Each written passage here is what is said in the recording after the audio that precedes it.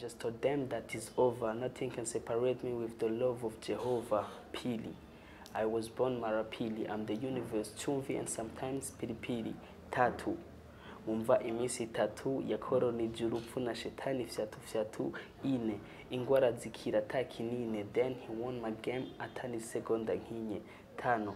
Amaraso yiwe niyo nkwano. Tano. Numva umengo nobatera kamo. Tano. Umva amajambo apani y'imicano ey ni yesu ni we jambo pra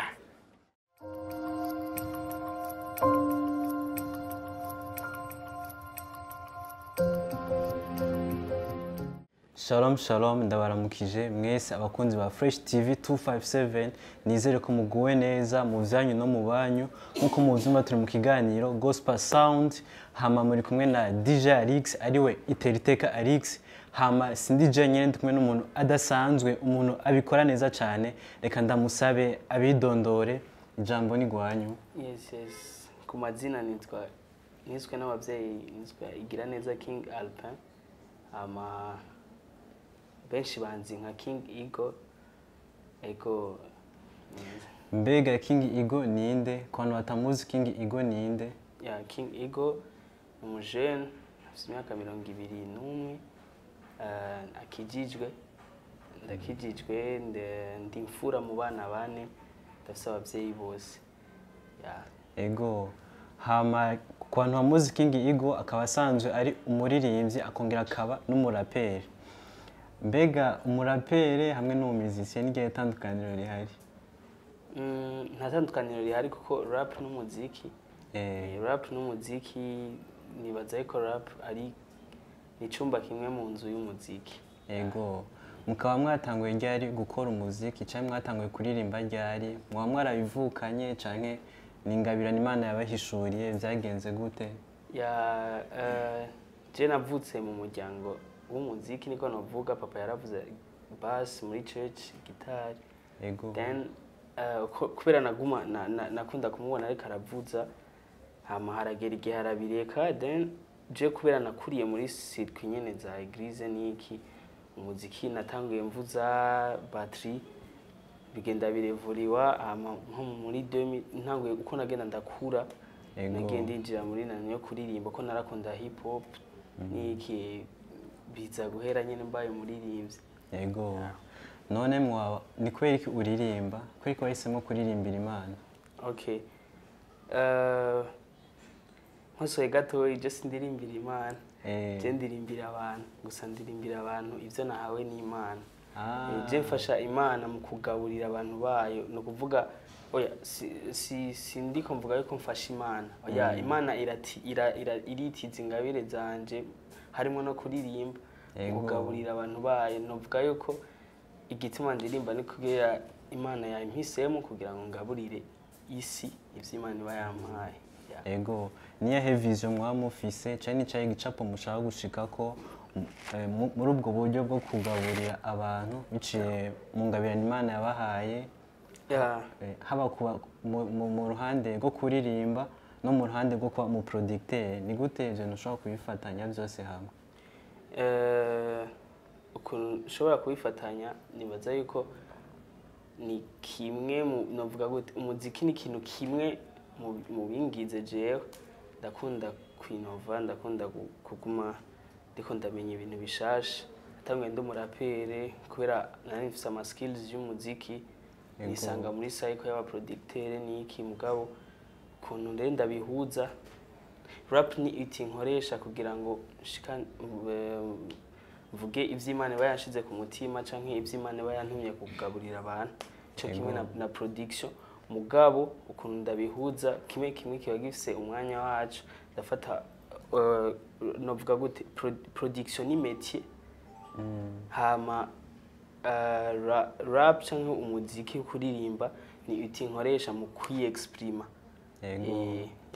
Eh, n'akahe kamaro ko kuba umuririmbyi kandi ukongera ukaba uri n'umuproducteur? N'akahe kamaro bigufasha wewe? Eh, akamaro bingirira ka mbere ni uko icyiyumviro mba mfise ku muziki ni ndisho- ndagishitsa ni ukuvuga nkora indirimbo zihuye n'umutima wanje z'umutima wanje ushaka. Umutima wanje nimba mfise ide yo gukora umuziki wa amapiyano biraza kunyorohera kwisatisfeza. Mugabo iyo mfise uwundi hari igihe usanga bigoye yuko aza kukumva nk'uko ushaka ko akumva. Niyo niyo avantage irimo kuba umuproducteur ukaba n'umuririmbyi. Eh, hama ni iki- kintu witega after song canke nk'inyuma y'i- y'igikorwa eje gukora ni iki kintu witega ku bantu canke iyo ugiye kuririmba uh, uriko uraririmbira imana ni iki kintu baba witeze ko abo bantu baza kumva iyo message ubahaye ko baza kubona baza kubona ico kintu wakoze. Eh, ikintu nitega apres y'ivyo mba nakoze vyose jewe ni navuga gute ni impact. Yego. ibintu byose nkora ndabikora kubera impact. Mm. bizongerera mbonye generasiyo iri inyuma yanje. Eh, imana yarashoboye kunkoresha narashoboye kuyumvira ikankoresha kugira ndayisevinge.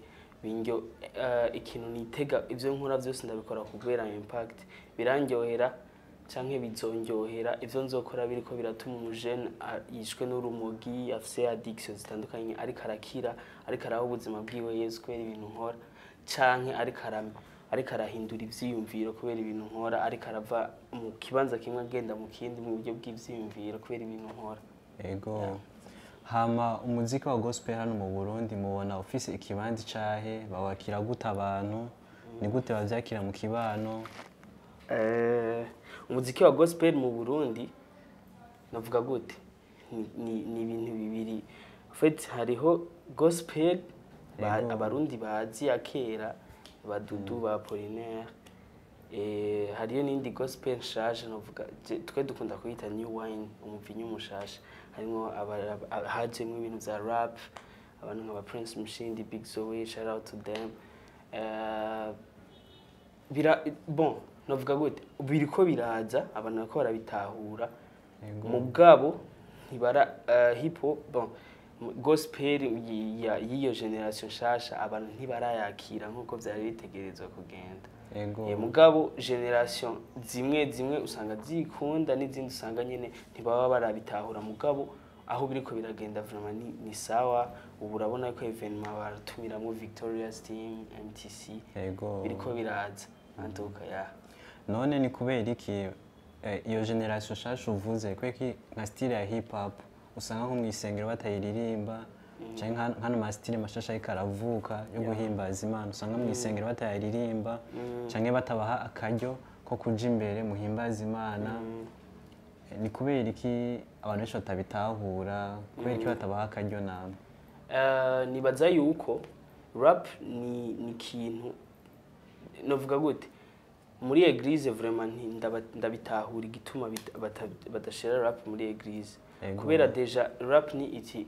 Ikoreshwa hanze ya eglise mu kuzana bajya bari hanze ya Ego. ziga ndirimbo za worship ziza gufasha abantu bari inda bamaze gushika muri eglise kunywana n'imana. Amaziga ndirimbo za hip hop ziza gufasha abantu bari hanze ya eglise cyangwa bari kure y'imana kubegereza mu mana. Hama abo bantu baje mu mana ca tubajana muri eglise hama worship team ikabafasha. No kuvuga twese turakoraborana. Tura abari hanze ya eglise turabazana muri eglise hama abari muri eglise bakabazana imbere y'imana. Yep. ni iki kintu ukora apart yo- kuririmba kuba umuproducteur ni iki kintu woba ukora apart y'umuziki jewe kweri ubuzima bwanje bwose. Kuva kuri A kugeza kuri Z. Ni umuziki Mu- ndiko mvuga mu buryo bufadika nta kindi kintu nkora atari umuziki. Akazi ka misi yose kiwanje ni umuziki ni production ibintu nk'ivyo ego Eh, ni iki kintu wobwira ko baradukurikirana eh, baba bafise nk'ingabirano ko- ariko bakaba bafise ubwoba bwo kuyisohora canke kuyerekana Eh, ni iki kintu wobabwira ko baradukurikirana ya eh, abajene tungana canke nsumba canke bansumba bariko baradukurikirana urafise indoto ndabizi. Mugabo ntibikwiye kuba ufise indoto. Indoto urahaguruka ugakora. Eh, ntibivana si kubera indoto yawe ari eh, canke si kubera ikintu ushoboye ari gito. Mugabo ikintu ushoboye kirashobora gukura uko ubandanya ugikora. Je ikintu nobwira umujene wese afise ikintu ashaka gushikako don't stop keep doing it. One day uzo uzobwira one day bizokunda one day uzoshika uzoshika kuri platform nziza. Hama ikindi naco nobwira abantu ba- basanzwe babikora men reka tubikore ku bwa impact ntitubikore kubera amafaranga ntitubikore kubera ego amafaranga turakeneye turakeneye kubaho neza niki mugabo ibyo dukora byose tubikore ku bwa generasiyo n'inyuma yacu. Reka dusevinge generasiyo yacu dusevinge abatoyi bacu ariko baricwa n'ibintu bitandukanye amadroge ama urumogi amabusite n'iki reka duhaguruke tubabere ishusho nziza. Ntitubikore gusa kubera twebwe tunabikore kubera abandi. Nicyo numva ntubwira abajene. Ego Muri rusange. murakoze cyane. Sinzi ko byokunda mukatubwira nk'akakapera gatonya. Sinzi ko byokunda. Yeah byokunda reka ndabagirire aga freestyle. Kamwe mu two nkunda kari ko kuri instagram yanje. Um, yeah. Hey, moja. I just told them that is over. Nothing can separate me with the love of jehovah. Pili. I was born mara pili. i'm the universe. Chumvi and sometimes pilipili. Tatu. Wumva iminsi itatu ni urupfu na shetani fyatu fyatu. Ine. Ingwara zikira ta kinine. Then he won my game. Atani segonda nkinye. Tano. Amaraso yiwe niyo nkwano. Tano. Numva umengo nobatera kamo. Tano. Umva amajambo apani yimicano ey ni yesu ni we jambo pra ego uyu yari king ego.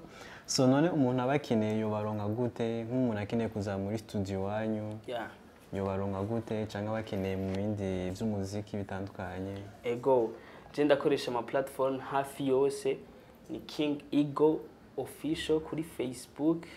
Eh, kuri facebook. Reka mbere kuri facebook biragoye gato. Ni king ego official. Kuri official o ntayiriko ni king ego hama official gusa double f e e a l.